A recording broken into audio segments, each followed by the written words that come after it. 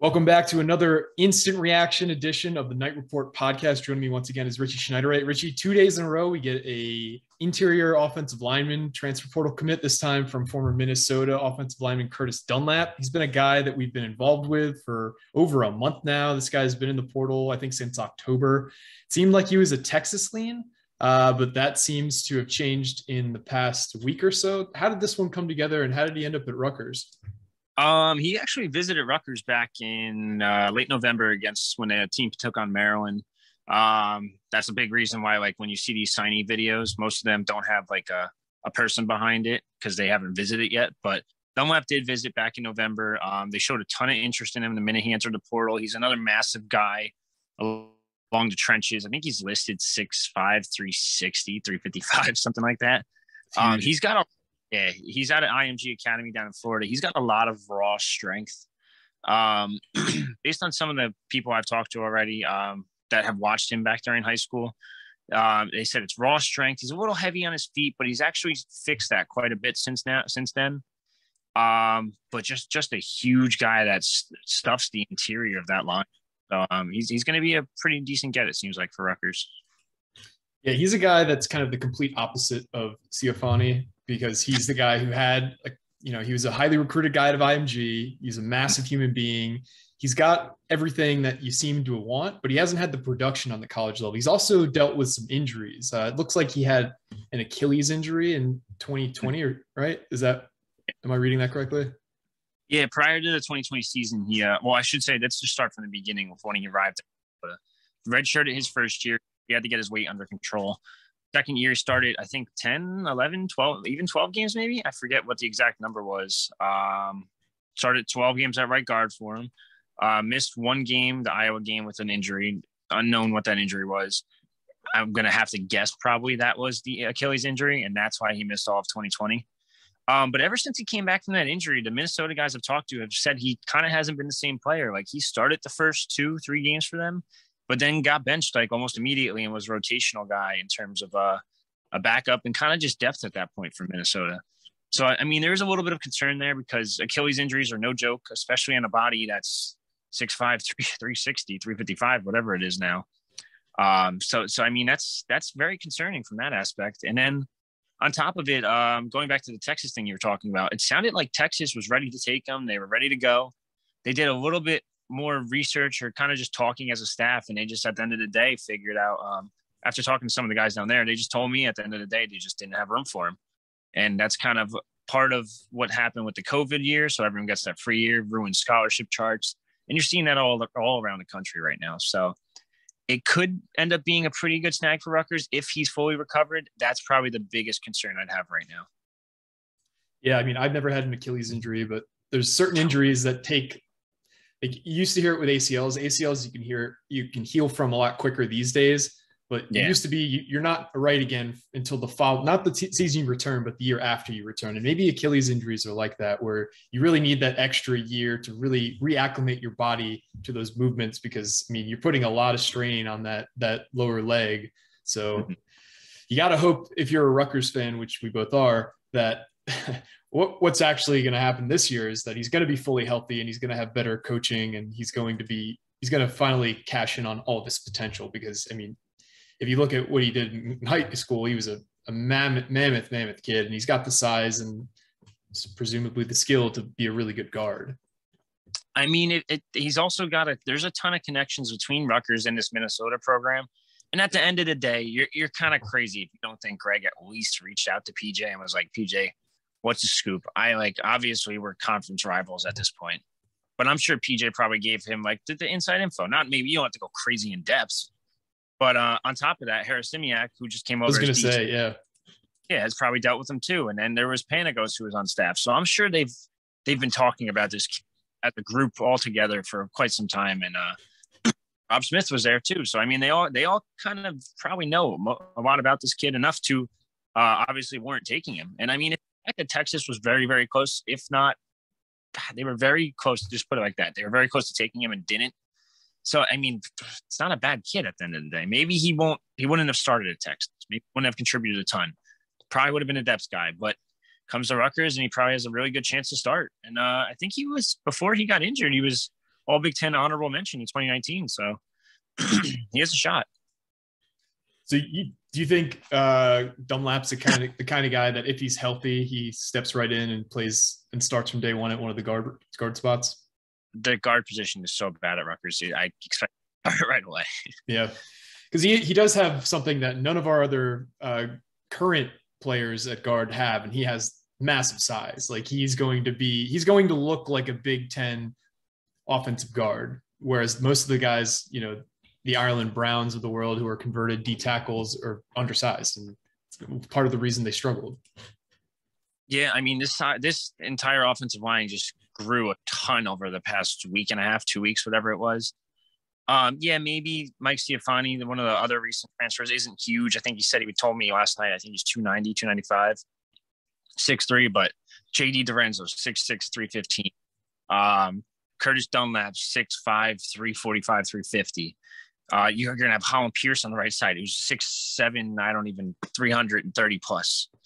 And then you got Raiqwon O'Neal. So, I mean, you, you have a pretty decent line going into next year now. Now there's it's a little bit makeshift because you are adding transfers and it's going to take time for these guys to gel. You can't expect them to do an overnight thing, but it does sound like all these guys are probably going to be here in spring, and that's where it's going to be the huge developmental stuff. Um, DiRenzo, obviously, there's only one year left, but uh, Ciafani or Chafani, I forget how to say it exactly, but him and uh, Dunlap have two years left. So now, or um, I'm sorry, Chafani has three years, Dunlap has two. So these are all guys that you're going to be able to develop for a, a little bit of time too. So it's not just like a one year flyer. Yeah, and I think we were both expecting multiple offensive linemen to come into this class. I, I, don't think I could have envisioned three. I mean, I also am not the coaching staff. They have clearly have a plan for all this. Do you think we're done in terms of offensive linemen from the portal, or do you think we would take more? Um, I was told they still want Willie Tyler. As of right now, the kid pushed his commitment back, I don't know, six times at this point. I think yeah. Died at 8:30 p.m., but on Eastern time. I think what Central's an hour behind, right? Yep. Yeah, so he's supposed to decide at 8:30. I still expect him to go to SMU. It sounded like they got some kind of crazy NIL deal for him to kind of set up down there. So not too shocking there. But I think this is Rutgers trying to kind of take the news away from that because everything with Greg is very strategic, and he's kind of posting. He, if you notice, he kind of like these kids will commit. You'll notice sometimes like we'll have crystal balls and future cast in for him, and we we kind of know already for the most part. And then all of a sudden, like it's like he'll time it so it's like Friday morning, boom, news break. Or wait, wait till Monday. Hold on, wait till Monday. We're gonna post it Monday, get you a ton of views. So I think this was kind of trying to not not beat out another recruit's uh, decision, but kind of to hide the fact that like you might have lost out one or lost out two or whatever. Yeah, falls in line with how he's handled things in the past. I hear you. Yeah. Like that's why there's what news items on the one day, and that's all everyone talked about for one day was Rutgers hired Harris Simiak, Rutgers hired Watson, Rutgers got Sean Ryan. It's like holy shit, holy shit, holy shit. Like get them talking about Rutgers as much as possible. So it's interesting. Yeah, so I know that a lot of times uh, with high school recruits, there's a very like defined timeline. Like, you know, they're announcing on their birthday or they're going to announce at this uh, bowl game or just something where you know that there's an event. Was mm. this uh, one of those transfer kids where like he could have committed at any point? It was just really when it was convenient for him, and that's kind of why it just came out of nowhere. Yeah, pretty much. Um, I was actually in the middle of eating dinner. I was kind of a little upset at that one. it is what it is. Um, yeah, I mean this this one we we've been posting on the boards for what I want to say two two and a half three weeks now that they're they were still in it for Dunlap. They're still in it for Dunlap. Texas might not take them. Texas might not take them, and then all of a sudden, boom! I guess he probably probably got the the call, or Schiano basically maybe maybe even Schiano called. We're, we're waiting to hear back from him right now. I know Patty's supposed to reach out to him in the next couple minutes or so, so we'll have an article up soon on his quotes and stuff. But I, I could see Schiano reaching out to him via kid like shit or get off the pot. That's it. Like either commit or don't. Otherwise, we'll go find someone else. And that's that's kind of been his whole uh, his whole mantra in terms of recruiting in general. It's either commit to us or we'll find someone that's just as good, if not better. Yep. And so, do you think if we don't land Willie Tyler, we're set at offensive line unless a really high level guy that the staff's super interested in comes along because it seems like all the guys who are going to transfer out after the season have done it now. You saw the wave of Georgia guys and Alabama guys after the title game. Literally, like the clock hit zero and it seemed like there was 10 guys in the portal from those two teams. So until yeah, spring practice is over, the, the the pool of players is pretty much set at this point. I would like to think so, but I, I do think when the spring roster comes out, this is when we tend to notice a couple have left mm-hmm. without telling anybody.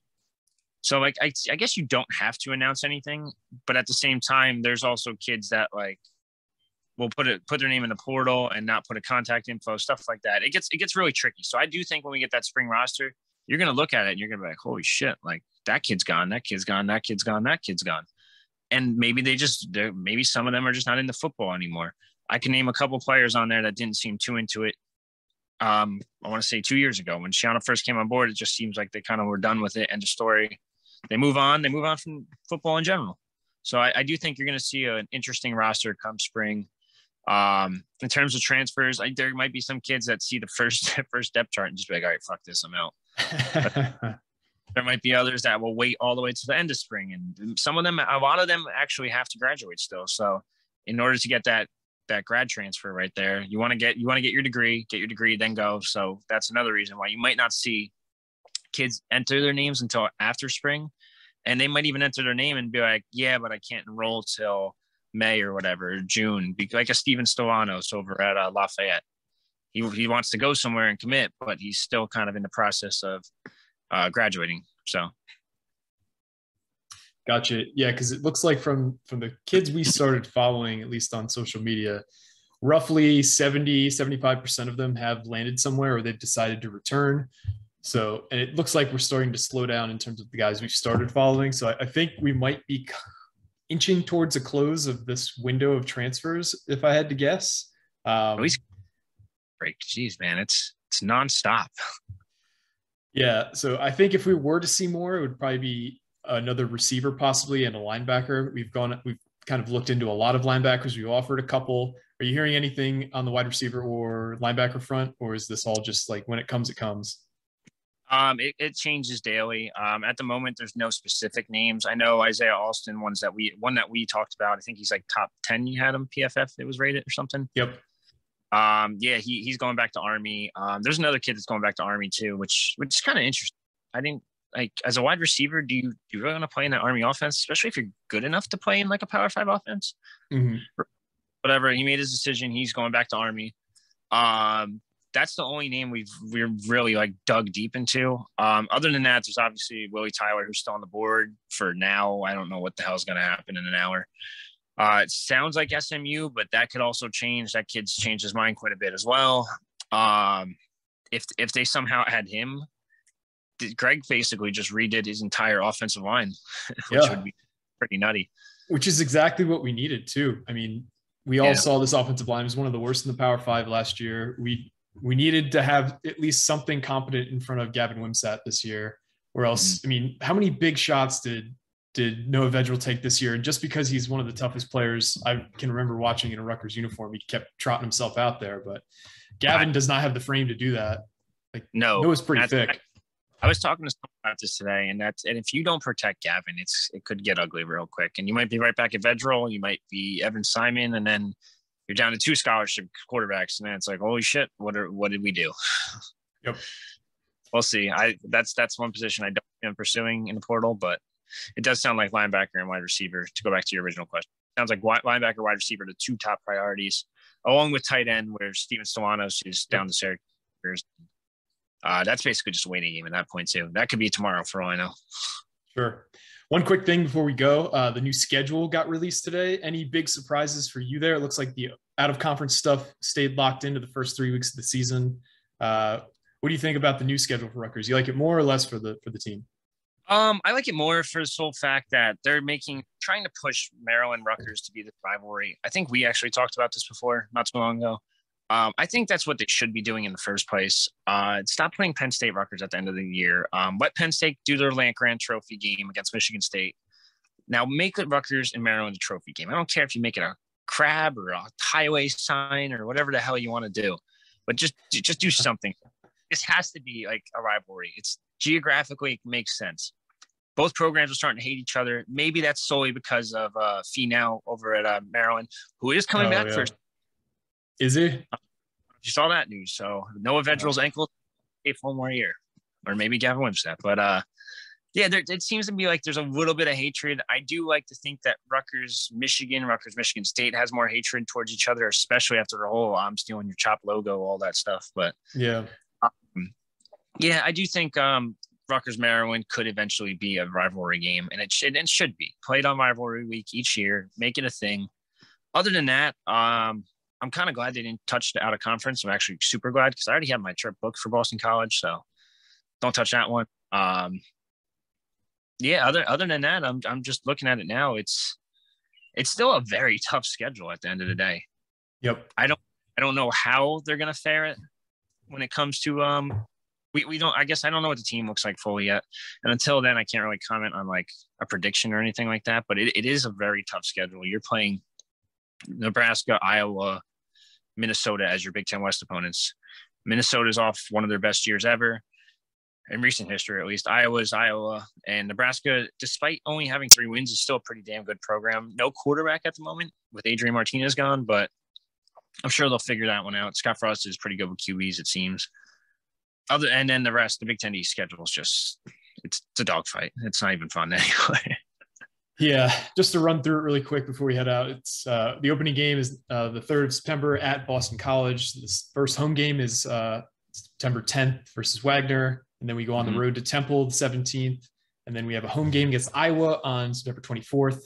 Following week, we play at Ohio State October 1st, and we wrap up the first half of the schedule with a home game versus Nebraska on October 8th. We have a bye the 15th, and then we play versus Indiana on October 22nd on the road versus Minnesota on October 29th, then at home versus Michigan on November 5th, then on the road versus Michigan State at November 12th, home versus Penn State November 19th, and then we finish up the season at Maryland on Thanksgiving weekend, uh, November 26th. So it's definitely a tougher schedule than this year, but I do think that we got some lucky, uh, not lucky, but we got some fortunate changes in terms of, you know, we have a break in the middle of the season now and doesn't seem as daunting front loaded of the schedule.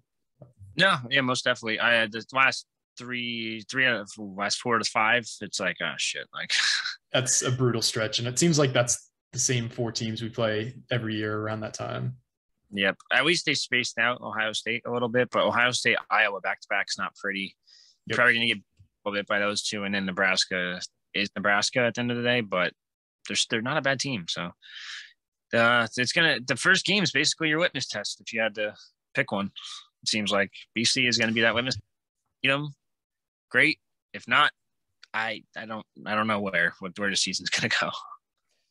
Yeah, they're they're losing a lot of impact players too, but they have a pretty good quarterback in Phil Jurkovec, so it's going to be a yeah. tough game. It's going to be fun to watch. That much. For sure. Uh, appreciate you guys tuning in to another instant reaction episode of the Knight Report podcast. We're signing off. See you next time.